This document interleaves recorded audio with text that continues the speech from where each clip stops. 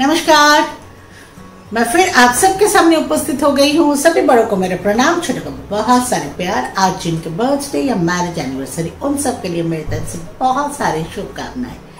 देखिए, आज मेरे साथ त्रीना है। और आप लोगों को पता है कि आई थिंक हम लोग वंस इन अ वीक तो जाते ही है ना आइदर लंच और डिनर जाते ही हैं। तो लास्ट टाइम मैंने आप लोगों को बताया था कि हम लोग आठ बजे निकले थे घर से, क्योंकि आठ बजे काफ़ी लेट हो रहा था। तो हम लोग एकदम नज़दीक गए थे। पाँच मिनट दूर मेरे घर से एक रेस्टोरेंट में गए थे। तो आज का टाइम मैं दिखाती हूँ एक बार देख लीजिए।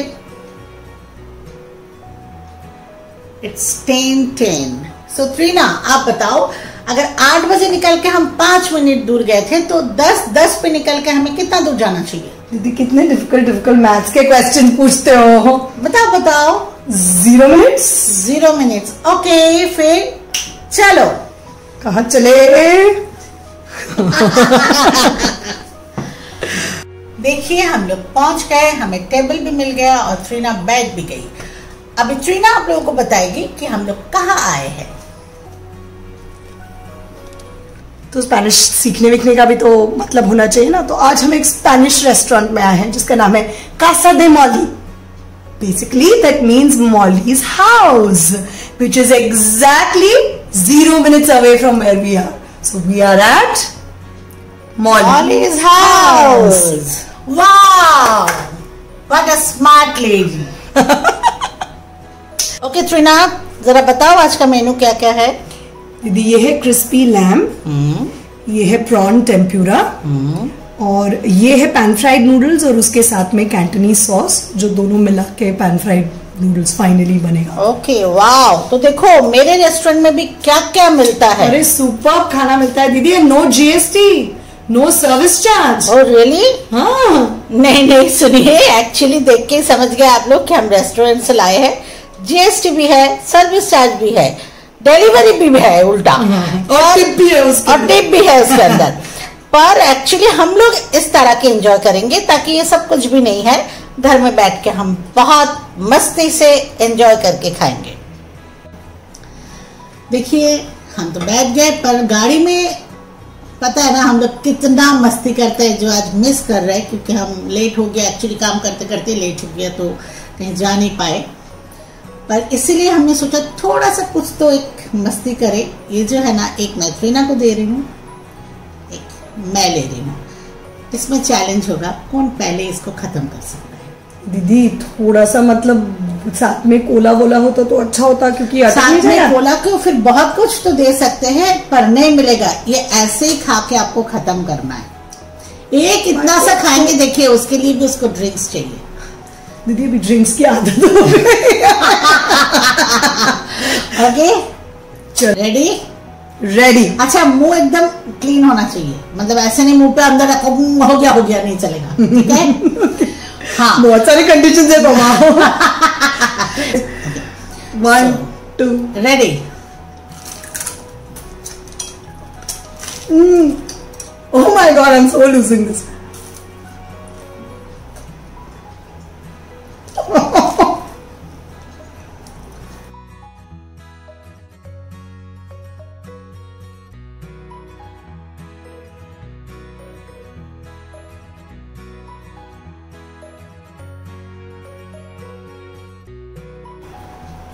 I'm so losing this.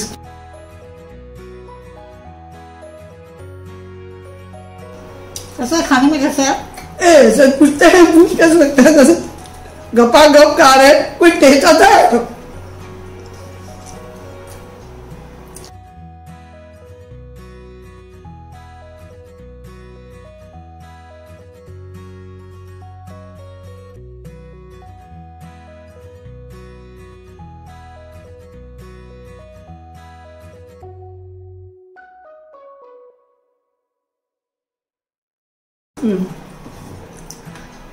Oh no हाँ दीदी अच्छा तो मैं जीत गई। या अच्छा बोलो अभी प्राइस क्या होगा?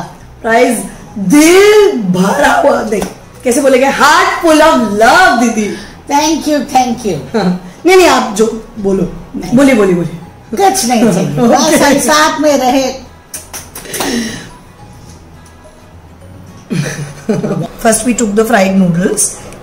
And then we put the entire Cantonese sauce, which is full of chicken and carrots and cabbage and lettuce Broccoli. and broccoli.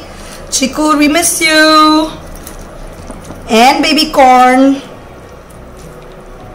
And, Oh, there's baby corn and we are missing our babies. and there's mushroom Oh, and zucchini, which Didi loves. Oh I hate. Mm. I, even I don't like mushroom. I don't like zucchini. Yeah, and broccoli you don't mind, do you? Broccoli I like. Baby corn I like. Even I don't like capsicum. So there is no capsicum here. I'm happy to announce. Okay, thank you. So I think we're done and we let this rest for a little bit so that all the noodles soaks the sauce. Sauce. Yes. अच्छा देखिए ये तो already एक खा लिया मैंने and I know इसका taste because ये मेरा फेवरेट है बिकॉज़ फ्राइड है ना तो ज़्यादा नहीं खाना चाहिए तो वो तो फेवरेट होना ही है मतलब ऐसे ही है हम लोग तो अभी मैं ये खा के बताती हूँ जो crispy lamb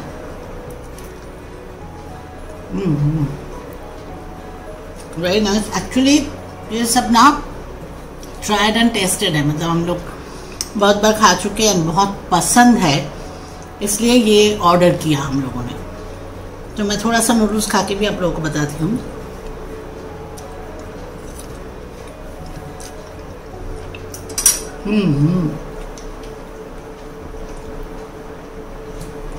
एक्चुअली डिश में जो भी है ना सारे आइटम्स हम दोनों की फेवरेट है। उस हिसाब से हमने ऑर्डर किया है। क्योंकि हम लोग जा नहीं पाए रेस्टोरेंट में, घर में बैठ के खा रहे हैं। तो वो दुख ना हो हाय, घर में रोटी सब्ज़ी खा रहे हैं। तो इसलिए ऐसे मंगवा कि घर में बैठ के एंजॉय करें। तो चलिए, अभी मैं पूरा फिनिश करती हूँ, फिर आप लोगों से मिलती हूँ। अच्छा एक बात तो मानते हो ना तो ना कि अगर हम घर पे बैठ के खाएँ, और चाहे तो रेस्टोरेंट के खाने मंगवा ले, जैसा आज हम मंगवाए। तो इसका बहुत सारे बेनिफिट है राइट। तुम्हें क्या लगता है क्या है? हाँ, दीदी इतना कंफर्टेबली खा सकते हैं। अभी मैं थोड़ी देर में पैर उठा के भी बैठ सकती हूँ। यस तो देर इज़ नो फॉर्मेलिटी ऐसा ना? एग्जैक्टली इवन जैसे आप चिकन मटन खाओगे ना दांत में वो मीट अटक जाता है। तो यू कैन जो रेस्टोरेंट आप चाहे तो ये प्रॉन स्टिक निकाल भी घर के कर घर पे कर लो कोई प्रॉब्लम नहीं है।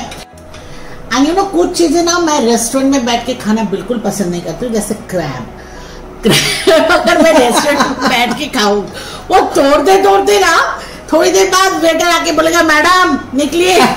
और कितने घंटा टेबल में बैठेंगे। इवन लास्ट डे अगर तुमको याद होगा हमने लिया था छोटा सा क्रैब वो खा ही नहीं पाए जब कचरा बचर फेंक दिया। तो वो आप घर पे अगर हो ना तो आराम से तोड़ ताड़ के उसको खाइए कोई प्रॉब्लम नहीं है। तो ये अच्छा अच्छा एक बात ना। आ, मैं पहले चीना को पूछती हूँ ये जो मैं कॉमेडी करती रहती हूँ ना do enjoy oh my god very much this is the highlight of actually मुझे लगता है मेरे स्टूडेंट्स तो एंजॉय करते हैं फ्रेंड्स भी करते हैं पर आई डोंट नो आप लोग करेंगे क्या? तो मुझे थोड़ा बताइए तो मैं जैसे वैरायटी करती हूँ ना कि एक दिन घूमना एक दिन ईटिंग शो वैसे एक दिन मैं कॉमेडी का भी कुछ आइटम्स लेके आऊँगी पर एक्चुअली यू नो यूट्यूब करना ही मेरे लिए it's a big challenge right because मैं यूट्यूब देखती हूँ ना, सारे यंगस्टर्स यूट्यूब करते हैं। एंड मैं एक तो ये एज पे ऊपर से क्लासिकल डांसर इस तरह की यूट्यूब करना मतलब बहुत लोगों ने ऐसे कहा, कैसे कर लेते हो? तो पता नहीं, मुझे कभी कभी लगता है, इसके ऊपर अगर मैं कॉमेडी करने लगी तो शायद ज़्यादा ना हो जाए। मतलब आप लोगों को ये ना लगे कि ये तो पागल ही हो गए अरे नहीं दीदी बहुत मज़ा आएगा आप करिए ना। ओके तो आप लोग मुझे बताइए अगर आप लोगों को अच्छा लगता है ना कि मैं फिर ऐसे छोटे मोटे चटपटा कॉमेडी वगैरह आपके सामने लेके आ जाऊँगी। ठीक है? क्योंकि मुझे करने का मन तो बहुत होता है पर मैं हिम्मत नहीं कर पा रही हूँ। थोड़ी झिझक हो रही है हाँ, शायद। थोड़ी सी कि पता नहीं कहीं ऐसा ना हो कि मैं बॉर्डर क्रॉस कर जाऊँ। लोग बोलेंगे कि ये सब क्या हो रहा है। तो आप लोग मुझे बताइए अगर आप लोग थोड़ा सा मुझे इंकरेज करेंगे ना डेफिनेटली आई विल स्टार्ट क्योंकि एक्चुअली ये लोग तो कहते ही है। मेरे स्टूडेंट्स भी कहते हैं, मुझे कि दीदी शुरू करिए। पर मैं ही ना करते हुए फिर पीछे आती हूँ। मुझे ऐसा लगता है, नहीं, ठीक है। इतना तक ठीक है, मुझे ऐसा लगता है। फिर भी आप लोग बताइए अकॉर्डिंगली मैं वो भी शुरू कर दूँगी अच्छा देखिए, हम लोगों का डिनर कंप्लीट हो गया। मैं आपको टाइम दिखाती हूँ। देखिए it's eleven thirty five so ten ten से लेके इलेवन थर्टी फाइव कहीं गए नहीं हम लोग। घर में बैठ के ऑलरेडी जब शुरू किया ना खाना पहुँच गया था। तो खाली खाने के लिए हम लोग one hour twenty five minutes लगाया। क्योंकि हम लोगों ने बहुत मज़ा किया है ना? बहुत बहुत एंजॉय किया। क्योंकि जो मैं आप लोगों से बोल रही थी ना कि हम कॉमेडी शुरू करेगी नहीं तो वहाँ एक ट्रायल जैसे हम लोग रिहर्सल हो गया। रिहर्सल हो गया। इतना एंजॉय कर रहे थे इतना एंजॉय कर रहे थे खैर बहुत अच्छा हुआ पर मुझे लगता है बस बहुत लेट हो गया उसको जाना भी है तो बहुत जल्द फिर मिलेंगे। सो माय चैनल अरे उसके पहले पैसे तो बता oh right right right actually घर में खाए ना तो मुझे लगता है फ्री में ही खा गया। हाँ वो हाँ बिल कितना हुआ बताओ? बिल 1887 1887 मेरे ख्याल से काफ़ी ठीक रिजनेबल है ना? पर एंजॉय हमने रेस्टोरेंट से भी ज़्यादा किया। 200 परसेंट है ना? बहुत बहुत मज़ा किया। तो चलिए लेट हो रहा है बिकॉज़ ट्रेना को अभी वापस भी जाना है। तो आज इतना ही my channel shades of life with Molly like करिएगा। शेयर करिएगा। सब्सक्राइब नहीं किया है तो कर लीजिएगा और कमेंट तो ज़रूर कीजिएगा। क्योंकि आप लोग के कमेंट पढ़ना मुझे बहुत, बहुत अच्छा अच्छा लगता लगता है। और फिर न्यू एनर्जी लेके मैं फिर आप सबके सामने आ जाऊँगी। बहुत जल्द फिर मिलेंगे। नमस्कार। नमस्कार।